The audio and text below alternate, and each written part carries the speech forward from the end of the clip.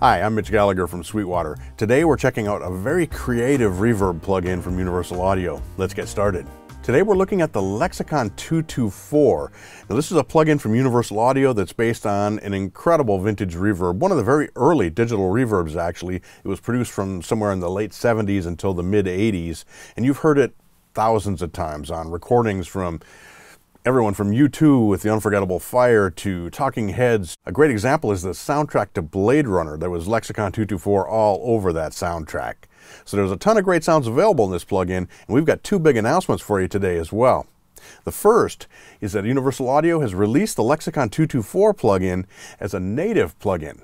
This means that you no longer need to have a Universal Audio Apollo or satellite in order to run the plugin. It runs completely native with any audio interface in any major DAW on Mac or PC. The second announcement is that this plugin is available individually. You no longer need to buy it in a bundle. So if you just want to get a 224 and apply it to your tracks, you can buy just that single plugin from sweetwater.com. So let's get started checking out the Lexicon 224. Now, a cool thing about this is it's actually endorsed by Lexicon, and in fact, the algorithms that are in the plugin are the exact same algorithms that were in the original hardware. So you are getting a 224 reverb when you purchase this plugin. Now, being a plugin and being universal audio, the attention to detail is just amazing. The look of it is very authentic. The sound of it is authentic. As I mentioned, we have the real algorithms, but they've also added some really nice touches, and we'll talk about those as we check this plugin out. So this is our user interface, and it resembles the LARC, which was the original remote control for the 224. The 224 was a large rack unit, and then you had a remote control that sat on your console, and you use that to call up programs and to edit programs and things. So this represents the UI. Basically, we have eight different algorithms here, eight different programs, eight different types of reverb, if you will. Everything from small hall to vocal plate, chamber. We've got room A, and there's also a feature where you can click on either chorus here, or you can shift click any of the program buttons and get a chorus program as well. So we have eight different reverb algorithms as well as a chorus algorithm available in this plugin. Now a lot of the power of the 224 is the way that you determine the reverb time, and that's handled by these three sliders down here. We actually have independent sliders for low frequency and high frequency reverb time, and we can set the crossover point for those. So we can set up a very long bassy reverb. We can set up a very long reverb with a lot of treble. And again, we can determine the crossover point between those. So let's listen to what's happening here when we do that. I'm going to switch over to, uh, let's get off this one. I'm on a kick drum, but let's go ahead and move to a snare drum so we can hear this. I'm going to open up the plugin. I've got it set to a snare program. So here's our reverb program. It's called Big 80s Snare. Now we can adjust the amount of bass decay time, here reverb time.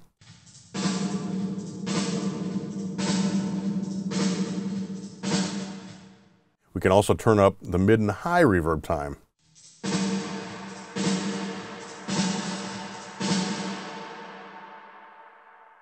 And by adjusting the crossover slider, we can set the frequency where those two break.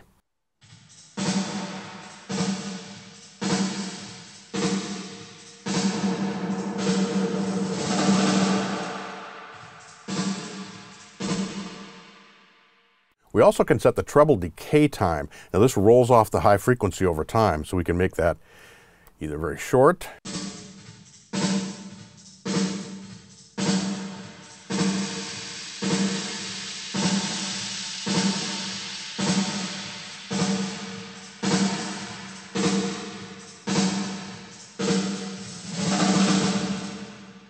We have a ton of control for shaping the sound just with those four sliders. We have two additional sliders on the user interface. The first is depth, and I think of this as sort of a room size control, and it equates to the distance from the source to the onset of reverb. Pre-delay also affects that. Pre-delay is the time between the source occurring and the reverb onset. So you can almost get echo effects as we'll hear in some of the preset when you use that long pre-delay. Across the bottom, we have control over three parameters, reverb diffusion, mode enhancement, and decay optimization. Now, reverb diffusion is the buildup of the echoes that make up the reverb. So we can increase that by clicking here. You can see the parameters changing here, and we can decrease that here. And that's basically going to be the thickness of the reverb. Mode enhancement adds modulation into the signal, and there are a couple different ways we can do that. First of all, we have the mode enhancement switch here, and we can increase the amount to add more modulation up to 16. And then here, we actually have a hidden menu that we can open up. We have control over pitch shift. And pitch shift, again, is the amount of modulation that we have there. So we can increase that depth as well. So we're adding a bunch of mode enhancement with this setting.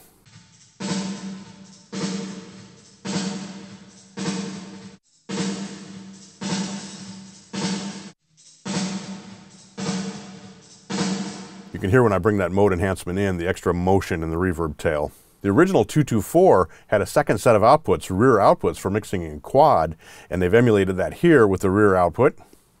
We can also turn system noise on and off. Being from the late 70s, the converters, the whole circuitry and things weren't as advanced as what we have today, and there was some noise in those older units, and you can bring that back in to have true authenticity to what's happening with the plug-in as well. Decay optimization makes the 224 respond to the incoming signal. It actually optimizes the tail to ring properly depending on the input that it's seeing. We can turn that on and then bring it up and down using these two switches here.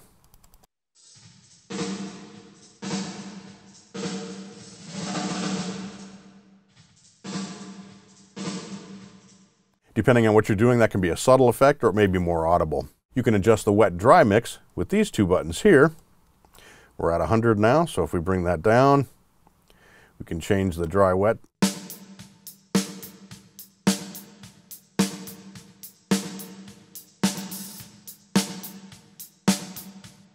Or we can solo or basically set things to 100% wet.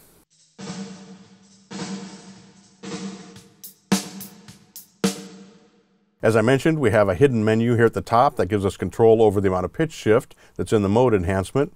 We have an input gain, and you can link those for the two channels. So we can set them to stereo or adjust them independently. Same with the output levels. Hold determines how long the parameter is displayed. We have a power switch, which basically is a bypass for the plug-in. And a cool feature is we can actually introduce bugs into the algorithm that's being used by the 224. The original software had a couple of different bugs that might show up occasionally in, uh, in some of the algorithms, and uh, later versions, of course, fixed that. But with this button here hiding under the UA logo, you can turn that feature on and off. So you can either go bug-free, or if you want a few random bugs, you can use that as well.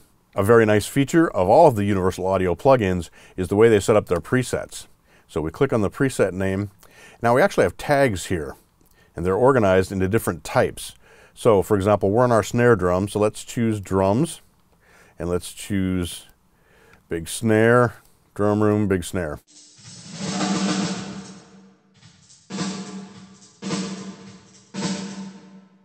Here's 80s snare.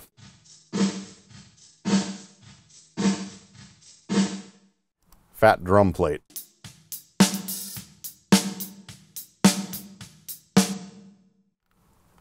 Live room. You can see as I'm changing those presets, the programmer algorithm is changing up here, the sliders are moving, and the different features are being turned on and off as well. So it's all part of that. Here's our mid-tempo snare room.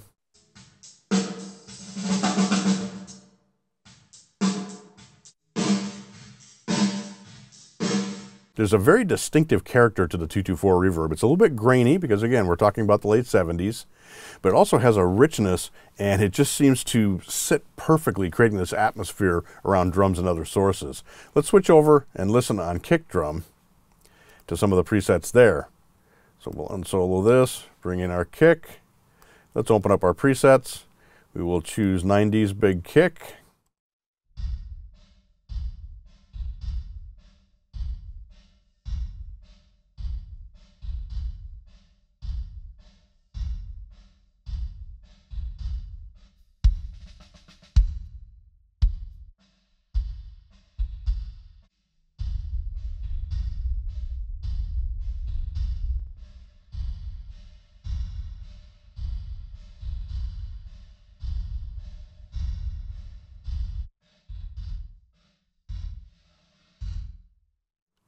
Lots of fun sounds available in the 224. Now let's jump over here and listen to the 224 on vocals. Sounds like I have a long reverb there already. Let's go ahead and choose a different preset. So let's open our tags up. We'll choose vocal.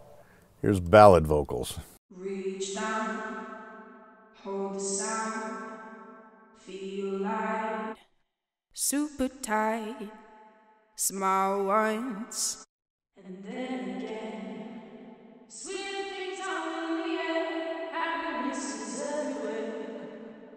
Reach down, hold the sound, feel light, super tight. Smile once and then again. Sweet.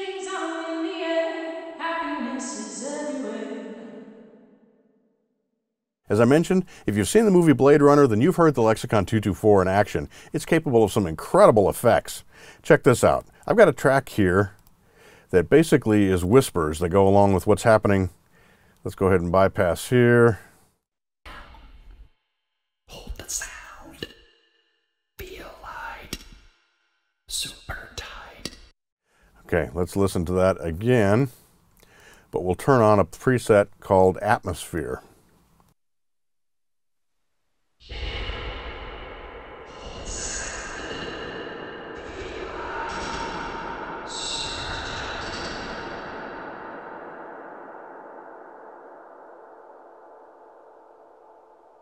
The capability of the Lexicon 224 to create those kind of sounds is because we have that control over the bass and the mid highs, as well as the treble decay and that crossover point. So you can really dial in the different parts and create these big rumbling reverbs, these wide open, really bright, hissy sounding reverbs, and everything in between. Whether you want a natural sound or you want a special effect, the Lexicon 224 is a great choice. And remember, you can now purchase that individually at sweetwater.com, and it no longer requires that you use an Apollo or a satellite interface. It works with any interface and any DAW. Thanks for checking it out with me today. I'm Mitch Gallagher from Sweetwater.